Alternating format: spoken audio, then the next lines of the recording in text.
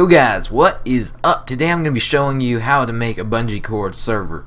Yes, that's a mouthful. But I've already shown you how to make a spigot. I think it was like 1.8.2 server. But now I'm going to be showing you how to link multiple servers together through BungeeCord. So these are the links. I'll show you how to download them really quick. Right here, you just click that and hit keep and put it where you want. On this one, these are just normal Minecraft builds. You do not download these. You go to the downloads tab, hit Spigot and CraftBukkit, hit Spigot and hit download jar. It's the same process as the other. Now, once you have your files, excuse me, you're gonna make a new folder, call it whatever you want. I'm just gonna do Bungee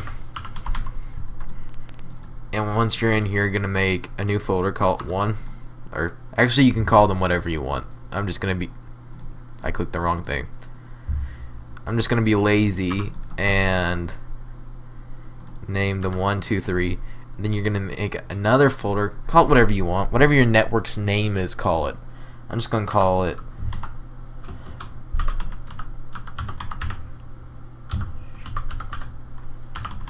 that's what I'll call it Now, in one, oops, I did not mean to double click that. Now I have to go into this.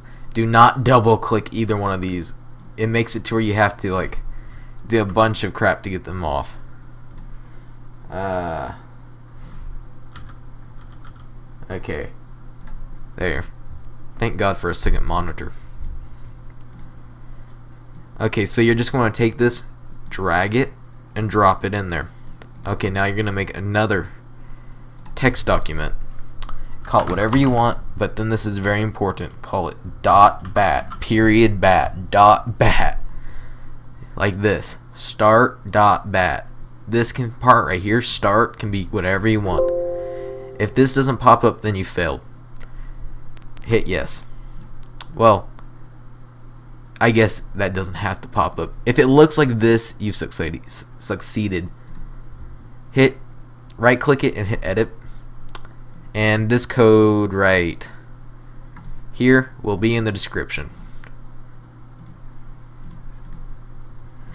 Now um, before I do this this right here and this right here are RAM values. So I'm gonna show you this. Um, I have 24 gigabytes so I can run that just fine if you guys only have two, then you can't even run this. If you have eight, then I recommend doing like four and one.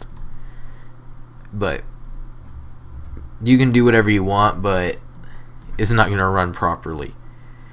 So just use this at your own risk. I'm going to keep it how it is.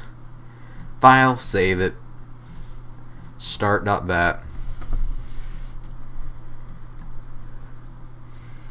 It's going to make some files, then it's going to stop because it wants you to change the EULA.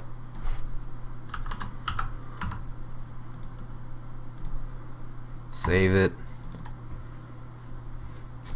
Run it again.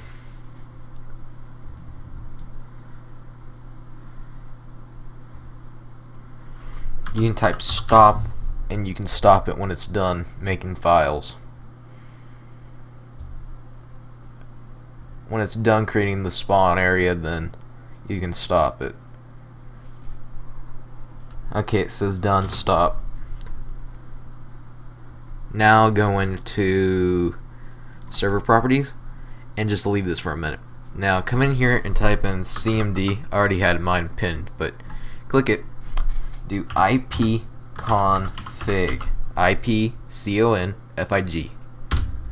Click that. You might have to scroll down for yours Go to your IPv4 address. Everyone is different. Everyone's IPv4 is different, so don't freak out if it's different. And right there it is. So come to where it says server IP and do whatever yours was.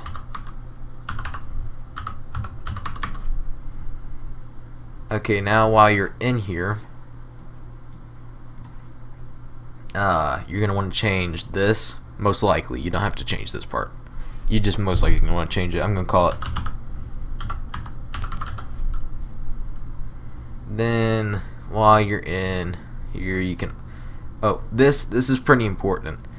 On Spigot and CraftBukkit, if you glitch on a block, it will kick you. So, if you enable flying, it won't kick you. So you can just break the block and walk away. So enable that if you don't want to get kicked for glitching. Change this to 4 or 6, whatever, just it can't be 5.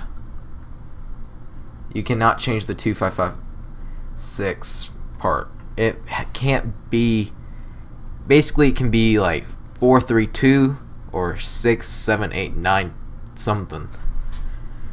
Uh, but I'm just gonna change it to 4. Uh you can change this to amplified, whatever you want. I'm not going to. You can change that to 3, whatever you want. I'm going to do 2,000 players. This is important if you don't want to lag your computer. Change it to 4 or 5, depending. If you're running this on a laptop, I recommend you going all the way down to 2. I'm going to do 5. Uh, tutorial. Okay, now that you have this made, you can just copy this. You can just copy all of it and paste it into each one of these. And then, since those are all made, you can come, you have to come back into 2 and go into server properties and go to the port. Where's the port? Oh.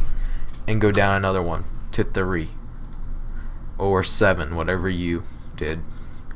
Same here. Go to server properties and port and 2 now on network bungee just drag and drop that. Make a new text document. Call it whatever you want right here. Then dot bat we already went over this. Edit. I'll have the code for this in the description too, but I don't have it on me, so I just have to do this.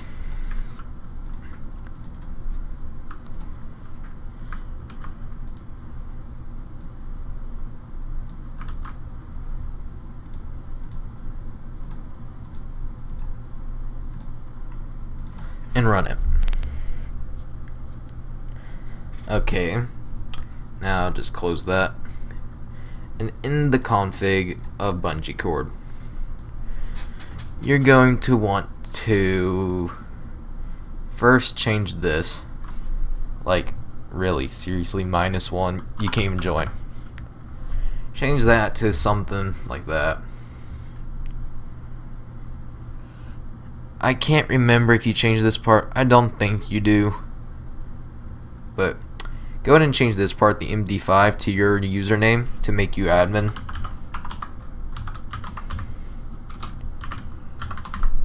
So, under groups where it said MD5, just to delete that and put in your username. And it has to be case sensitive. So, it's capital S, whatever, all the way through the name. And now, you're going to want to go back up to this right. Here. And change this right here to 4 call this right here to like server 1 and then you want to copy it all the way from restricted to lobby. And you'll see why in a minute. Go down go back control V. Change this to server 2 and rename this right here to server 2 same thing again. Server 3 I just did double R's for some reason. And 3 oh I forgot to change the port up here. You need to change this to 3 or whatever your port was that you changed your second server to. Change this to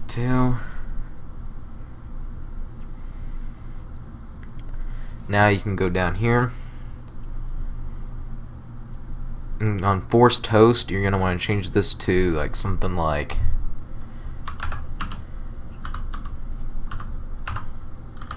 basically just change it to your uh, to your IPv4 and then name it whatever your primary server is which mine is lobby. And then up here at host make sure all these are zeros and then change these two from 77 to 65 and then max players you want to be the same as the other one so 5000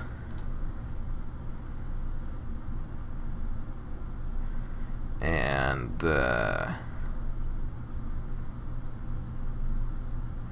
you want to make sure that's on there I cannot remember if you changed this well we'll see in a minute I am pretty sure I need to change these to 00, zero but we'll see in a second you're gonna want to change this to true it really doesn't do anything but it can help with errors Save it. Let's see if this thing runs. Yep, it runs. It runs perfectly. You can install proxy plugins in there. I assume you know what those are. And now that this is listening, see how it says listening on 0000, which is your local host, that's your, what your machine is.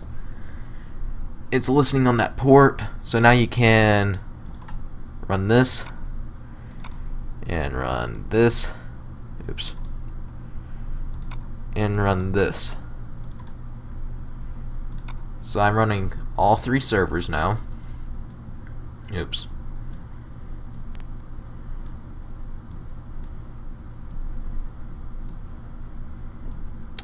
And Bungee is connecting them. Let's move that up there.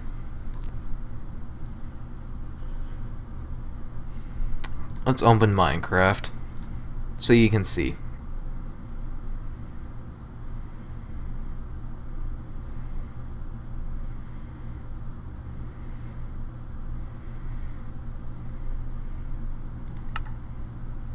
And for some reason that my servers are not listed right now, but we'll go ahead and just add in. If you're playing on the same machine you're hosting your server on, if you're playing on the same machine that you're hosting your server on, then you enter in your IPv4, which is what I'm doing.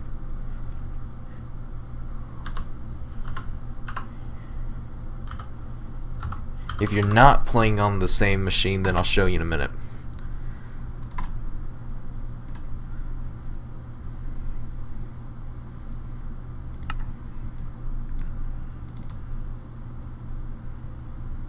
You know what? I'm actually glad this happened. That's a perfect example of something going wrong. Config.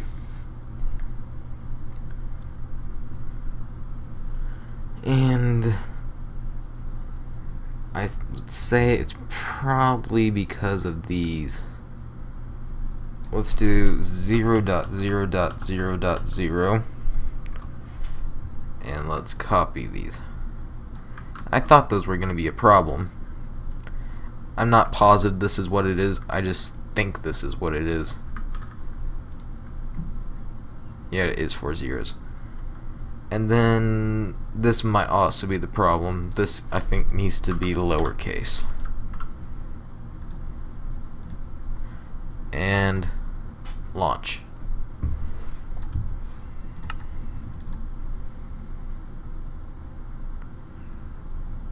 Um, I left out a crucial part. I forgot to tell you guys something. On your server properties, I didn't see it, so I totally forgot. Uh, whatever. Did it want it reloaded for some reason? Oh, whatever. Uh, in your server properties, I for totally forgot because I didn't see it. I still don't see it. We're just gonna search it, find.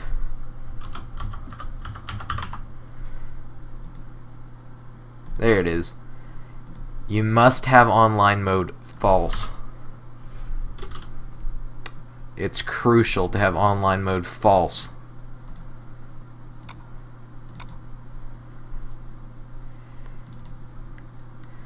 This hasn't been the perfect flawless uh, guide, but at least I've shown you guys how to troubleshoot a little bit.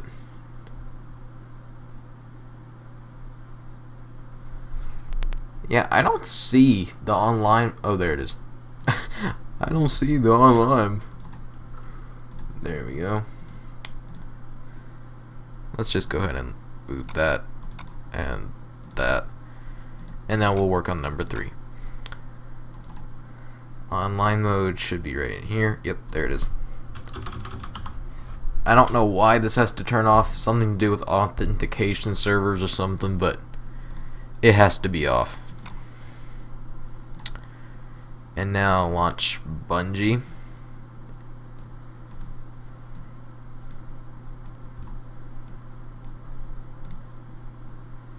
Uh, where was that last one? Oh, I don't think I launched the third server.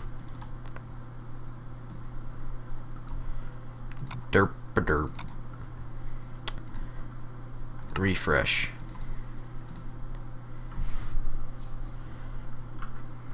And this is not game recording software, at least not really, so this might be a little bit laggy for you guys. But you see, it's working. But this is just a normal server, right? Nope, wrong. Server uh, server 2.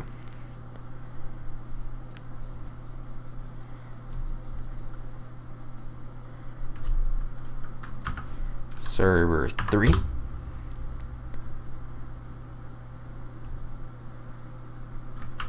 Server lobby. They're all the same exact world because I didn't take the time to make three individual servers, but you see the point. All three of them are connected now. So you can have literally three worlds on the same network. And I know a lot you'll say you can do that with multiverse, but you can't have separate plugins. And I'm totally losing my voice right now. That's why it's like flipping out, but let's go ahead and get out of this and do uh, stop, stop, and stop. Oh, whatever. But that's how you make a BungeeCord server, and that's it. Hope this tutorial helped. Subscribe, like, follow my Twitter, Twitter, Twitter, follow my Twitter, um, all that stuff. Bye.